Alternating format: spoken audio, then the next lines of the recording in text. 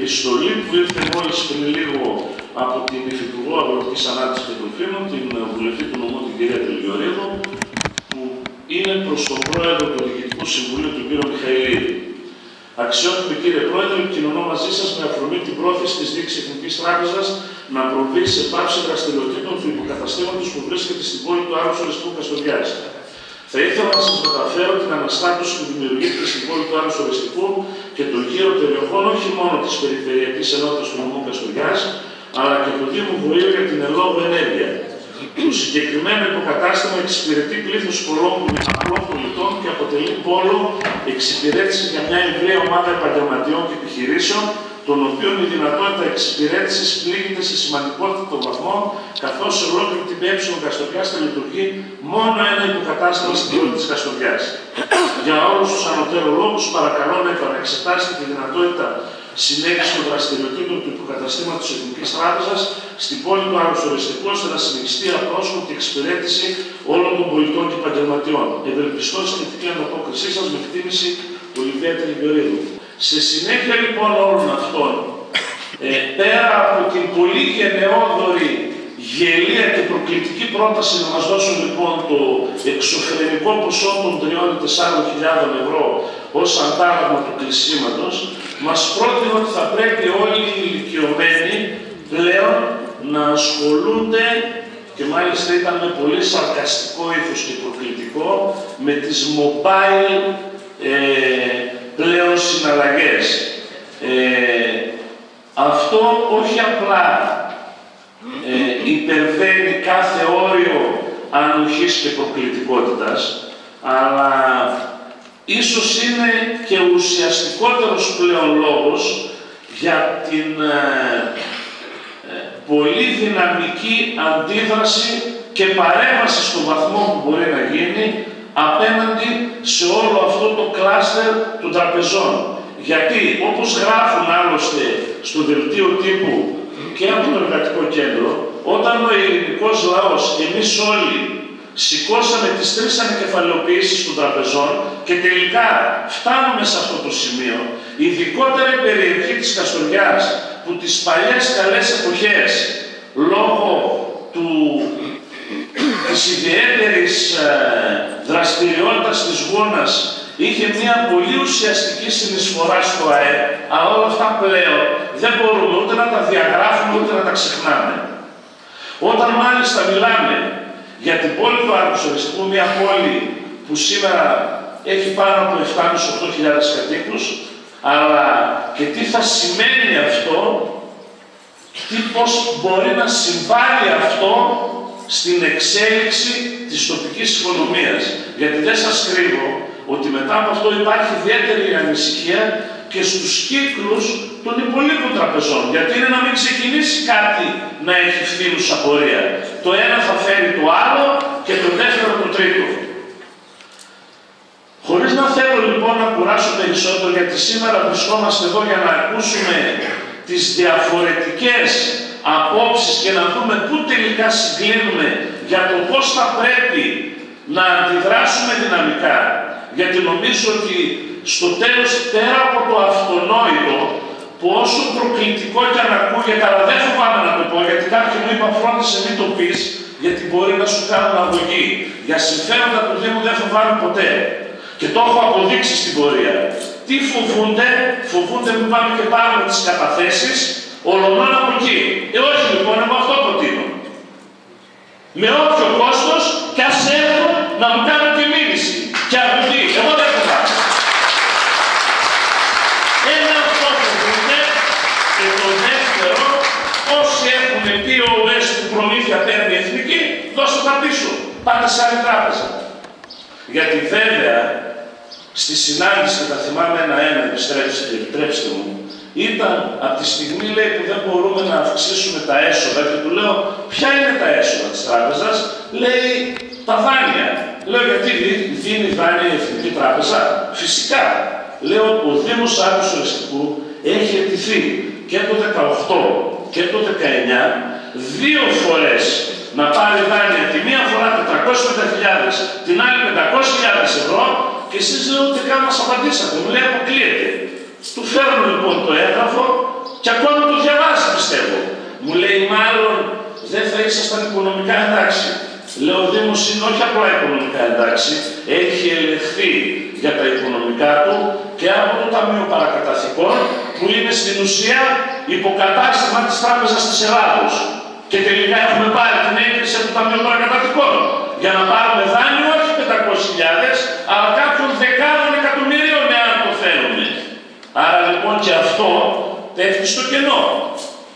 Άρα λοιπόν η φιλοσοφία είναι πια ότι δεν κάνουμε αυτό που έγινε είτε στον δημόσιο τομέα, είτε στον ευρύτερο δημόσιο τομέα, είτε στον ιδιωτικό τομέα με την εφαρμογή των μνημονίων που φτάσαμε σε σημείο να έχουμε μειώσεις των μισθών των υπαλλήλων έως και 50% για να συνεισφέρουμε όλοι μαζί ως πολίτες αυτού του κράτους, αλλά τα golden boys του τραπεζών θέλουν να κρατήσουν τους παχυλούς μισθούς όπως τους είχαν. Κατά τη στιγμή λοιπόν που δεν υπάρχουν έσοδα, δεν μειώνουμε τα έξοδα, αλλά μειώνουμε, όχι, δεν μειώνουμε τα έξοδα τις αποδοχές μας, αλλά μειώνουμε τα έξοδα κλείνοντας καταστήματα. Αυτό κατά την άποψή μου είναι ανεπίτρεπτο. Τι φοβούνται λοιπόν αυτό που είπα. Εγώ αυτό προτείνω και κλείνοντας πιστεύω ότι οτιδήποτε άλλο πέρα από τις κινητοποιήσεις που θα μπορούσαμε να κάνουμε νομίζω ότι αυτό από αύριο κιόλα θα πρέπει να είναι το πρώτο γιατί ήδη από την Παρασκευή που μας πέρασε από όσο γνωρίζω από υπαλλήλους εδώ της τράπεζας υπήρχε πλήθος συμπολιτών μας. Και όχι μόνο από την ευρύτερη περιοχή του Άργους, αλλά και από την Καστοριά, γιατί αυτό είναι ένα γεγονός, ότι πολλοί τελικά δημότες της πόλης της Καστοριάς επισκέπτονται το συγκεκριμένο κατάστημα λόγω της εύρεθμης λειτουργίας τους και της άμεσης εξυπηρέτησης ή αν θέλετε και λόγω της θέσης που μπορούν να εξυπηρετηθούν. Γιατί όπως γνωρίζουμε η θέση του καταστήματος της Εθνικής Τράπεζας στην πόλη της Καστοριάς δεν είναι και η καλύτερη. Λαμβάνοντας λοιπόν την προηγούμενη εβδομάδα την επιστολή σας, και επειδή θέλω να είμαι ξεκάθαρη και να είμαι ειλικρινής και να μην κάνω. Ε, ε, ετοίμασα αναφορά. Αναφορά προς τον Υπουργό Οικονομικών, την οποία σας έχω διαβάσει, κύριε Δήμαρχε, και την οποία όμως λόγω του αυριανού κλεισίματος της Βουλής θα ήταν ένα άτομο πράγμα. Για να λέμε αλήθεια τώρα μεταξύ μας. Να μην κοροϊδευόμαστε. Ε, ε, την Παρασκευή λοιπόν κατέθεσα όχι μόνο στον ε, πρόεδρο της Εθνικής Τράπεζας επιστολή, αλλά και επιστολή στον κύριο Στουρνάρα, στον ε, διοικητή της Τράπεζας της Ελλάδας, ε, γιατί θεωρώ ότι όντως η επόμενη κυβέρνηση, η κυβέρνηση της Νέας Δημοκρατίας, που δίνει ιδιαίτερη βαρύτητα στις επενδύσεις και στην ανάπτυξη του τόπου και στο μεγάλωμα της φύτας και που έχουμε πολλά να δούμε μετά τις επόμενες εκλογές, ε, θα χρειάζεται όχι μόνο η Εθνική Τράπεζα, κύριε Δήμαρχε, θα χρειάζονται και άλλα υποκαταστήματα τραπεζών. Γι' αυτό θέλω ε, να σας διαβεβαιώσω ότι από πλευράς μου θα κάνω ό,τι είναι ανθρωπίνως δυνατό στον κοινό αγώνα όλων των ανθρώπων του Άργους με εσάς ε, την κεφαλή να αποτρέψουμε αυτό το πράγμα. Γιατί, λέω γιατί, γιατί η επόμενη κυβέρνηση, η κυβέρνηση Νέας Δημοκρατίας, θα φέρει πολλές νέες επενδύσεις και στον τόπο μας. Ετοιμάζουμε πράγματα για να δημιουργήσουμε πλούτο. Και αυτόν τον πλούτο, αγαπητέ Δήμαρχε, θα τον διαχειριστούν οι πολίτες και φυσικά χρειάζονται αναπτυξιακά εργαλεία όπως είναι ε, η τράπεζα. Από εκεί και πέρα, επειδή έχω και μία άλλη εκδήλωση στο Δημονεστορείο, γι' αυτό και είμαι ε, ανάλογα, ας πούμε, ε, θα ζητήσω ε, να μου επιτρέψετε να αποχωρήσω για να πάω στην Κωτήλη που γίνεται μια ε, εκδήλωση και που είναι, ε, πρέπει να συμμετέχουμε παντού, να είμαστε μαζί με τον κόσμο. Ε, θα σας στείλω και τις επιστολές που έχω ετοιμάσει, κύριε Δήμαρχε, και, για τους, και στον διοικητή της Τράπεζας της Εθνικής, αλλά και στον διοικητή της Τράπεζας της Ελλάδας, που νομίζω είναι ένα κλειδί, το οποίο όποτε θέλετε μπορούμε να πάμε και να συναντήσουμε μαζί. Είμαι αρρωγός και συμπαραστάτης στην προσπάθεια όλων των ανθρώπων του Δήμου Άργους Οριστικού για να παραμείνει η Εθνική Τράπεζα στο Άργος. Σας ευχαριστώ πολύ.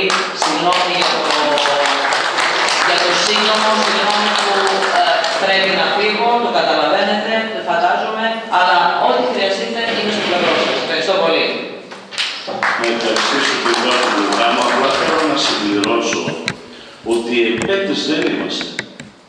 Αυτό είναι η υποχρέωση της τράπεζας. Δεν θέλουμε να μας κάνουν τη χάρη να μας κρατήσουν το κατάστημα. Γιατί αν δεν το στήριζε ο λαός εδώ του Άργου Οριστικού και της ευρύτερης περιοχής, θα είχαν κάθε δίκαιο να πούμε ότι εντάξει, από τη στιγμή που δεν υπάρχει ανταπόκριση, αυτό είναι ανταποδοτικό. Όταν όμως όλοι ξέρουμε ότι ό,τι μέρα και να περάσουμε, ό,τι ώρα και να περάσουμε από το πρωί μέχρι το μεσημέρι, έχει μόνιμα κόσμο. Δεν μπορούν λοιπόν, επειδή αποφάσισαν κάποιοι και δεν ξέρουν ποια κριτήρια, ρώτησα τρεις φορές τον Περιφερειακό Διευθυντή. Ποια είναι τα κριτήρια, πείτε μου. Και γιατί κλείνει του Άγους και δεν κλείνει του Μετσόρου. Γιατί δεν κλείνει του Δομοκού, που είναι στο 100 αν θυμάμαι καλά. Που έχει 1.800 κατοίκους και το άλλο έχει 7.500. Δεν πήρα απάντηση ποτέ. Δεν θα ήθελα να πω πάρα πολλά, διότι αναλύθηκαν και νομίζω και στην επιστολή του Ελευθερικού Κέντρου ε, έχουν ε, διεξοδικά υποθεί τα πράγματα με το όνομά τους. Ε, για, για μένα προσωπικά και για το Διευθυντήριο δεν είναι μόνο η επιχειρηματική διάσταση, και η δυσκολία που θα φέρει στι συναλλαγέ μεταξύ των επιχειρήσεων είναι ένα ζήτημα γενικά ε, της βιωσιμότητας της υπαίθρου. Είναι ένα ζήτημα περισσότερο κοινωνικό, θα έλεγα, το οποίο δήμαρχε δεν θα πρέπει να πούμε στη λογική των αυτομάτων υπηρεσιών, των υπηρεσιών ε, κινητής τηλεφωνίας και την εξυπηρέτηση των τραπεζών κτλ. Είναι μια τελείως διαφορετική απόφαση. Είναι μια απόφαση η οποία αντιλαμβάνεστε ότι θέλει να φέρει μια συρρήκνωση στις τοπικές κοινωνίες ουσιαστικά πηγαίνουμε σε μέσα ένα μοντέλο ε, συγκεντρωτικό ε, κάποιων μορφών έτσι, της Αθήνας και της Θεσσαλονίκης και της υπόλοιπης ε, περιφέρειας και της υπέρθρου με μία απαξίωση. Νομίζω εκεί πρέπει να σταθείς περισσότερο ε, σε αυτή την κατεύθυνση και όχι στην κατεύθυνση των εισόδων-εξόδων να είναι βιώσιμο το κατάστημα ή όχι. Έτσι, δεν μας αφορά καθόλου. Ε, από εκεί και πέρα, στο πλευρό σας, ε, για το οτιδήποτε από τη μεριά του, του επιμελητηρίου, με την επίσημη και απόφαση του Επιμελητηρίου για ό,τι ζητηθεί και νομίζω ότι ε, θα πρέπει ίσως και από το Άργο να δοθεί ένα μήνυμα ότι τελικά η, η φωνή του λαού μερικές φορές ακόμα και σε αυτές τις κοινωνιακέ δύσκολες στιγμές που περνάει η χώρα μπορεί να φέρει αποτελέσματα. Μακάρι να ξεκινήσετε κάτι με πολύ δυναμισμό. Εμείς θα είμαστε κοντά σας. Γι' αυτό είμαι και σήμερα εδώ για να δώσω τη στήριξη σε οτιδήποτε και αν αποφασίσετε. Τα μέτρα αυτά που ανέφερες, ε, Δήμαρχε, νομίζω ότι είναι καταλήτης. Ε, νομίζω ότι είναι μονόδρομος. Θα συνενέσω και εγώ δηλαδή σε αυτό, γιατί φτάνει να με πράγματα και λένε απλά για το καλό της κοινωνίας και για το καλό των πολιτών. Θα πρέπει να περάσουμε και εμείς στην αντεπίθεση μερικές φορές. Και συμφωνώ απόλυτα ότι αυτά είναι η αρχή ενός κακού που έρχεται. Ε, δεν είναι μόνο η θέση εργασία, δεν είναι μόνο όλο το, το, το επιχειρηματικό το οποίο αυτή τη στιγμή ξέρετε και σε επενδύσει όταν πηγαίνει κάπου να επενδύσει. Εμεί έχουμε επενδύσει αυτή τη στιγμή για την Δυτική Μακεδονία για την άλλη περίοδο. Θα κοιτά αυτά τα πράγματα. Φανταστείτε να έχουμε επενδυτή ο οποίο καταλαβαίνει ότι η τράπεζα κλείνει. Ότι κλείνει το κάθε, το κάθε κατάστημα, ότι μειώνονται οι υπηρεσίε του Δήμου, ότι υπάρχει μια γενικότερη έτσι, συσπήρωση στα, στα κέντρα. Καταλαβαίνετε ότι όλα αυτά βρίσκονται μέσα σε αυτό το πλαίσιο. Σε αυτό το πλαίσιο λοιπόν, όλε μας τι δυνάμει θα συνενέσουμε και εμείς και καλό όνομα Με την ίδια λογική και με τις μειώσεις που είχε ο Δήμος από το 11 με το μείον 72% των εισόδων, έπρεπε να κλείσει τα πάντα, έτσι, να μην υπάρχει ούτε ΚΕΠ, γιατί να υπάρχει Γιατί το ΚΕΠ είναι σημειογόνο για το Δήμο. Το ότι κρατάει ανοιχτά εκ περιτροπής, έστω με έναν υπάλληλο, στο Κοσταράζι και στο Βουγατσικό, έναν υπάλληλο για να μπορεί να εξυπηρετεί εκεί τους δημότες και να μην έρχονται στην έδρα του Δήμου, στην πόλη του Άγιου Σουρεστικού, με την ίδια λογική και εμείς θα έπρεπε να το δούμε εντελώς απλά, υπολογιστικά, λογιστικά και να πούμε όχι, δεν μας συμφέρει. Το κλείνουμε και αυτό. Δεν μπορεί λοιπόν μόνο η τοπική αυτοδιοίκηση να επομίζεται τα πάντα και αυτοί που τελικά χρηματοδοτήθηκαν από την τοπική αυτοδιοίκηση ευρέως, από τους δημότες δηλαδή, να κοιτάνε αποκλειστικά και μόνο μην ξεφεύγει κανένα ευρώ με αρνητικό πρόσημο. Όχι. Αυτό δεν θα περάσει. Κύριε Μαρίνας Σαρέφη, πρόεδρο του Υπουργού Υποχρεώσεων. Έχετε την αμέριστη συμπαράστασή μας. Θέλω να σας πω ότι για εμά τους εμπόρους αυτό είναι ένα πολύ κακό δεδομένο. Θέλω να σας πω ότι εμείς ήδη ζούμε μια πολύ άσχημη κατάσταση στο άλλο στρατιστικό εδώ και καιρό και ζητούμε να αποφύγουμε πλέον τα χειρότερα για τα καταστήματά μα. Έχετε την αμέριστη συμπαράστασής μας. Προσωπικά θα, θα εισηγηθώ και στο, στο Διοικητικό Συμβούλιο του Εμπορικού Συλλόγου να αντιδράσουμε δυναμικά. Εμείς από τη μεριά μας ίσως και με κλείσιμο συμβολικό των καταστημάτων μας. Δεν ξέρω αν είναι δυνατόν, προτείνω κιόλας μια συμβολική κατάληψη της τράπεζας, δεν ξέρω νομικά τι μπορούμε να κάνουμε ή όχι. Όλα θα τα κουβεντιάσουμε εδώ. Εγώ προσωπικά σας λέω, εγώ προσωπικά σας λέω ότι αύριο το πρωί έχω πολύ λίγα χρήματα, αλλά θα πάω να τα πάρω από την τράπεζα. Και θα τους εξηγήσω τον λόγο. Έχετε την αμέριστη συμπαράστασή μας. Ευχαριστώ. Εκ μέρους των εκπαιδευτικών, γιατί αυτή η τράπεζα είναι που, ε, με την οποία γίνονται οι συναλλαγές μας για να πληρωθούν και το καθεξής. Αν μας εξηγήσετε, κύριε Δήμαρχε, τον τρόπο που μπορούμε να αποσύρουμε τις καταθέσεις μας, ούτως ώστε να υπάρχει μια λειτουργία χωρίς πρόσκομα στο, στις υπόλοιπες συναλλαγές μας, εγώ προσωπικά, δεν ξέρω τι θα κάνουν οι υπόλοιποι, πολύ ευχαρίστω θα πω να τα αποσύρω όλα. Είναι Ναι. Φαντάζομαι το υποκατάστημα και θα δείτε ποια είναι η διαδικασία, η συγκεκριμένη διαδικασία. Αν μπορούμε να τα πάρουμε σε κάποια άλλη τράπεζα ή στο, ε, στα ΙΤΑ, Αν δεν κάνω λάθος, είναι προσωπική επιλογή σου να Ναι. δηλώνεις ότι θέλεις να μπαίνεις στο δοσία σου. Σε ποια τράπεζα, έναν, έναν ε, λογαριασμό τράπεζας. Και εδώ να πω κάτι που ξέχασα. Έτσι. Πλέον έχει ψηφιστεί ότι για όλες τις συναλλαγές της ε, mobile, όπως λέει ο αγαπητός κύριος Περιφερειακός Διευθυντής, έτσι, χρεώνονται με 3 ευρώ. Αναμένεται να βγει το ΦΕΚ, έχει ψηφιστεί. Θα βγει το ΦΕΚ σε 10 μέρες, σε 20 θα βγει. Δηλαδή, πέρα ότι γίνεται ό,τι γίνεται, θα έχουμε και μια επιπλέον χρέωση των 3 ευρώ και οποιαδήποτε. Μεταφέρεις 2 ευρώ, 3 θα πληρώσει για την μεταφορά. με συγχωρείτε να διευκρινίσω κάτι. Δεν είναι προσωπική επιλογή μας. Αυτό το έχει επιλέξει η υπηρεσία. Μας έχει, βγάλει, μας έχει βάλει στους λογαριασμούς εκεί, ε, μας έχει δώσει αυτά τα βιβλιάρια και μας πληρώνει από εκεί. Δεν είναι προσωπική μας επιλογή. Μια μεγάλη περίπτωση εκπαιδευτικών που είμαστε πάρα πολύ προσβάτους και ζητήσουμε την υπηρεσία να μετακινηθούν οι λογαριασμοί μας, θεωρώ ότι δεν θα υπάρξει κανένα πρόβλημα. Μόνο έτσι. Μόνο έτσι. Λέγουμε και Σας ευχαριστώ. Πολλέ δημόσιε υπηρεσίε και ιδιωτικέ επιχειρήσει εδώ, επειδή τηρούν λογαριασμό στην Εθνική Τράπεζα, υποχρεώνουν όποιον πάρουν στην υπηρεσία του ή στην δούλεψή του, να το πούμε πολύ απλά, για διάφορου λόγου και οικονομικού, αν εγώ δηλαδή έχω στην ΑΠΑ λογαριασμό, δεν, μου- δεν με πληρώνουν εκεί, με υποχρεώνουν να ανοίξω λογαριασμό στην Εθνική Τράπεζα και γίνεται και εκεί η καταβολή του μισθού. Οπότε δεν υπάρχει περιθώριο επιλογή σε κάποιες περιπτώσεις. Στους εκπαιδευτικούς δεν ισχύει γιατί το ξέρω. Δεν Στις ιδιωτικές επιχειρήσεις ισχύει.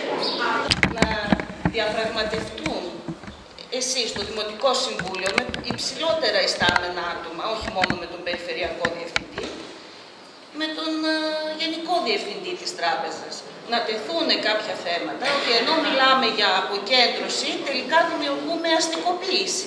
Συγκέντρωση δηλαδή στην πόλη της Καστοριάς. Γιατί αυτό το, το υποκατάστημα έδινε συντάξεις, ε, έδινε συνάλλαγμα, δούλεψαν πολλά άτομα όλα τα χρόνια. Κάποιες φορές είχε και πολιτική του να δίνει και κάποιες παροχές. Θυμάμαι βιβλία που δόριζε η Εθνική Τράπεζα στις βιβλιοθήκες των σχολείων. Δηλαδή, ας το δούνε και αυτοί, όπως και εσείς το θέσατε, πώς μπορούν να αναπτύξουν περισσότερο. Μια αναπτυξιακή πολιτική για το υποκατάστημα και όχι συρρυκνωτική. Θα έλεγα περισσότερο να, να συνεχίσετε κάποιες διαπραγματεύσεις και σε υψηλότερα ιστάμενα. Είναι, νομίζω, πολύ ρομαντικό πλέον αυτό. Συγγνώμη, κάτι άλλο θα ήθελα. Όπως είπαν όλοι οι έμποροι, κάποιος που έκανε τη σύνταξή του αμέσως θα ψώμιζε κιόλας από τα διάφορα μαγαζιά της πόλης.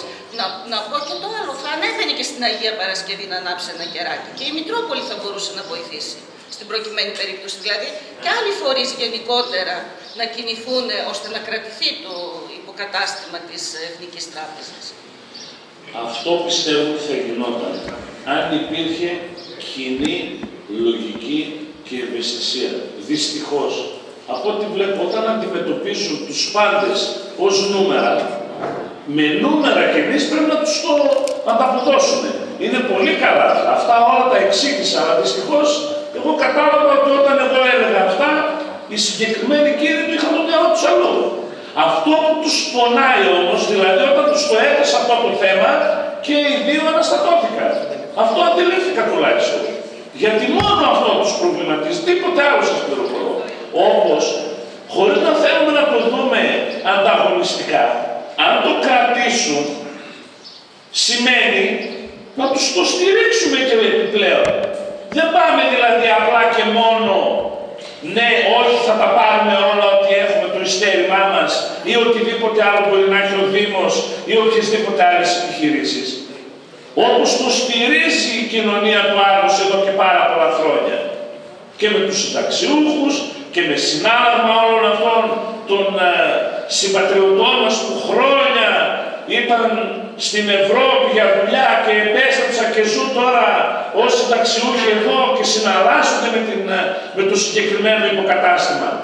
Από τη στιγμή λοιπόν που δεν περνάνε οι συναισθηματισμοί για τους συγκεκριμένους κυρίους, που ε, δεν ξέρω και ίσως να είμαι λίγο υπερβολικός, αλλά νομίζω ότι έχει και δόση αλήθειας, επειδή ο συγκεκριμένος διευθυντής είναι από την περιοχή των Ιωαννίνων, δεν νομίζω ότι είναι τυχαίο ότι μένουν και τα δύο καταστήματα και Μέξοπο και Κόλιτσας, που είναι πολύ πιο κάτω, ενώ το δικό μας είναι πολύ πιο πάνω. Ε, ναι, αλλά κάποιοι είναι πάνω από αυτόν τον περιοχή. Ναι, η επιστολή ούτως ή άλλως Ναι, όμως οφείλουμε πήγε τις στους πιο κεντρικά από αυτόν.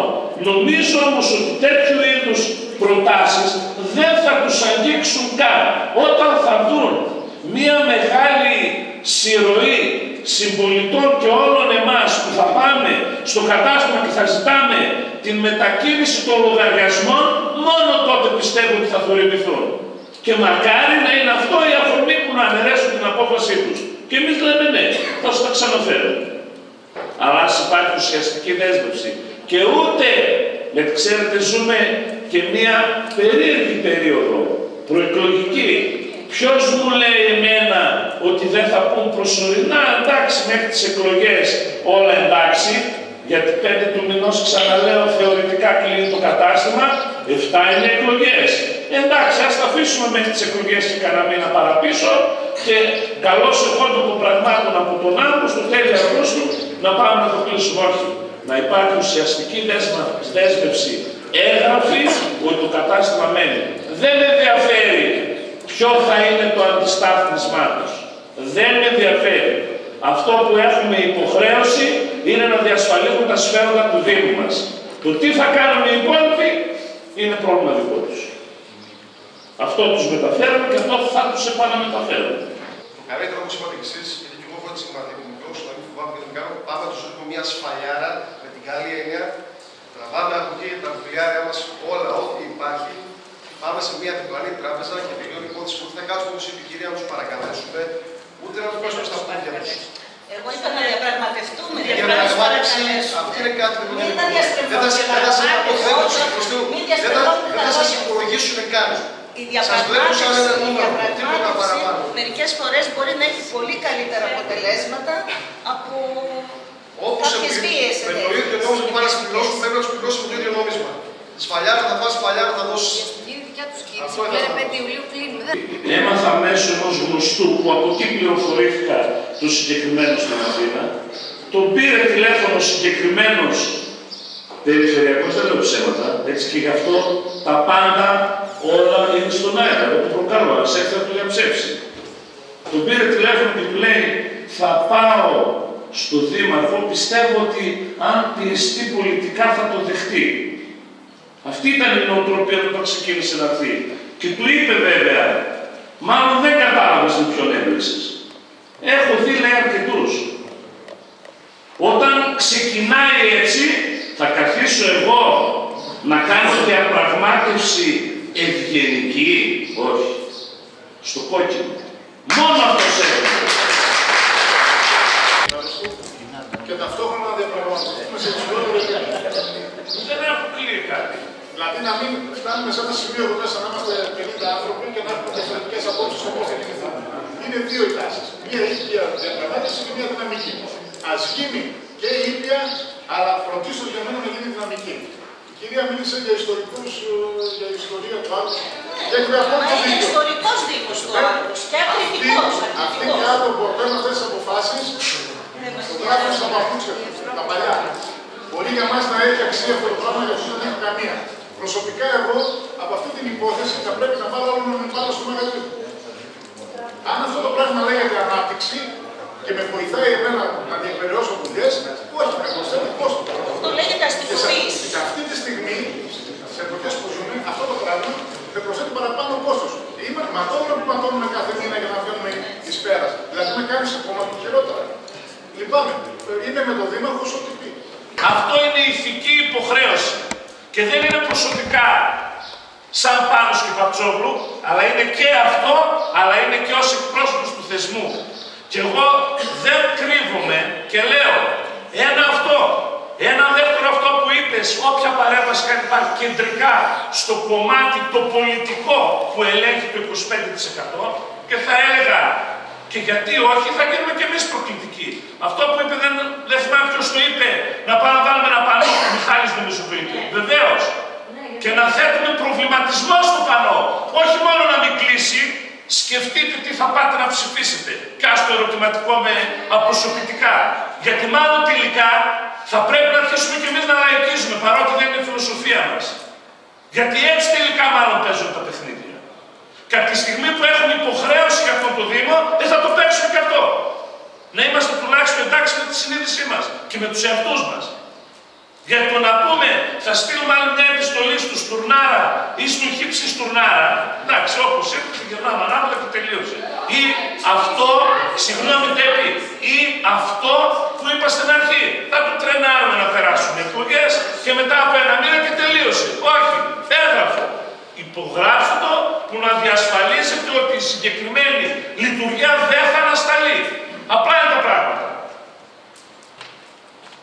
Πότε έχει κίνηση μεγαλύτερη την Τρίτη; Ναι, την Τρίτη θα πάμε να κάνουμε εικονική κατάληψη. Δεν θα μπει κανένας μέσα. Εγώ είπα και κάτι άλλο. Όχι μόνο σε αυτό. Όχι, όχι σε όλες. Και στις Καστοριά στην Εθνική. Και να και και κατάληψη, αλλά και να φέρουμε τη μέσα μαζική ενημέρωσης. Ναι, εντάξει. Δηλαδή δυστυχώς μπορεί να είναι πράγματα που θεωρούνται πλέον ε, όχι πολιτισμένα, γιατί αυτός ο πολύ πολιτισμός μας έφαγε και η πολλή ευγένεια, αλλά μάλλον τελικά από ό,τι διαφέρεται δεν χρειάζεται σε κάποιους ανθρώπους. Σε κάποιον που σε προσβάλλει προσωπικά δεν μπορείς εσύ να τον αντιμετωπίσεις ως πολιτισμένος, τον μη πολιτισμένο. Ποιος είναι ο πολιτισμός όλων αυτών των επιχειρηματιών που ήρθαν απ' έξω, πήραν τα ωραία λεφτουδάκια του ελληνικού λαού και συμπεριφέρονται όπως συμπεριφέρονται. Γιατί; Δεν τους βγαίνουν τα νούμερα. Αυτό σημαίνει πολιτισμός, αυτό σημαίνει ευγένεια, αυτό σημαίνει αξιοπρέπεια, αυτό σημαίνει σεβασμός. Ή μήπως αυτό σημαίνει, έλα μωρέ θα φωνάξουν λίγο, τους έχουν μάθει, φωνάζουν, αλλά στο τέλος τελικά δέχονται τα πάντα. Όχι, δεν δεχόμαστε. Στον κόσμο και να επιρρύπτουν ευθύνες και να διασπείρουν κινδύνους. Ότι πίνουμε δηλητήρια και δεν συμμαζεύεται. Επιτέλους, τέλος και έλεος. Γιατί από εδώ και πέρα να λαμβάνει δικαιοσύνη.